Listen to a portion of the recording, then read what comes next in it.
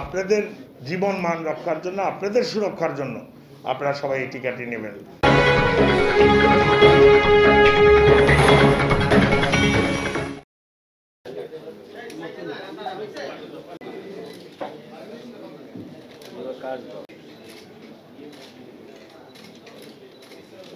আসলে প্রস্তুতি আমাদের সম্পন্ন সাত তারিখে শুধু বরিশাল না, সারা বাংলাদেশে আপনার সাত তারিখে আপনার উদ্বোধন হবে। অফিসিয়ালি আমরা দেওয়া আরম্ভ করব। সম্মুখ যোদ্ধা যারা আছে, আমাদের বরিশালে অলরেডি দশ হাজারের মতো আমরা তালিকা করে পাঠিয়েছি। সম্মুখ যোদ্ধা সাংবাদিকতা শুরু করে সিটি কর্পোরেশনের পরিষ্কার পরিচ্ছন্ন শুরু করেছে।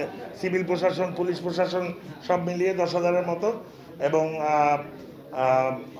আমার অনুরোধ থাকবে বরিশালবাসীর উদ্দেশ্যে যে এটি নিয়ে যে বিভ্রান্তকর বিভিন্ন ধরনের তথ্য হচ্ছে, এগুলি থেকে আপনারা, এগুলিকে কানে না দিয়ে আমাদের মানো- মাননীয় প্রধানমন্ত্রী যে এত তাড়াতাড়ি আমাদের যে করোনার আমরা বাংলাদেশের মতো একটি দেশ, আজকে যেখানে এই করোনার যে ভ্যাকসিন তিনি আমাদের সুরক্ষার জন্য তিনি এনেছেন, সেটি আমরা সঠিকভাবে, সুন্দরভাবে যাতে আমরা এটার সুফলটা আমরা যেন ভোগ করতে পারবি।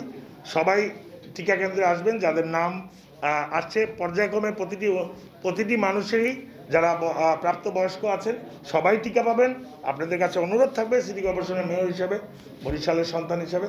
আপনারা সবাই আসবেন এবং যাদের এই রেজিস্ট্রেশনের মাধ্যমে আসবেন, সবাই এই আপনাদের জীবন মান রক্ষার জন্য, আপনাদের সুরক্ষার জন্য আপনারা সবাই এই টিকাটি নেবেন। একেবারে আজকেই আমি রেজিস্ট্রেশন করব। যেমন আমরা অলরেডি আমাদের বিভাগীয় স্বাস্থ্য বিভাগ ই থেকে আমাদের ডাক্তার পীযুষ যেহেতু তিনি ডাক্তার এবং আমাদের সিনিয়র সে এবং মেডিকেল করে আর রেজিস্ট্রেশন করা এবং তিনি তাকে দিয়ে আমরা এবং প্রিন্সিপাল সাহেব যিনি আছেন সাবেক বরিশাল মেডিকেলের তারা করবে। আর সাথে তো আমরা তো আসি মনে করেন আমাদের।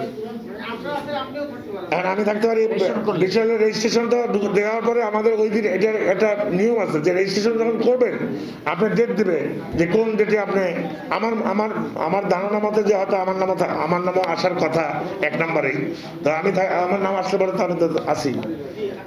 কমিটি কিন্তু অনেক আগেই করা আমাদের।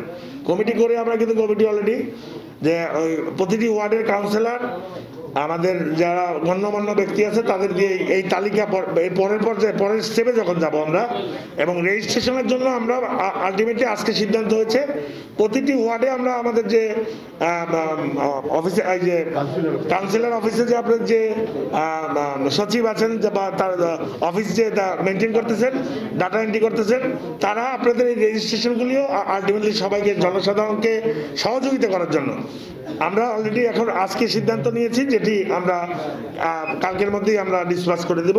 এটা পরের স্টেপের কথা বলছি আমি।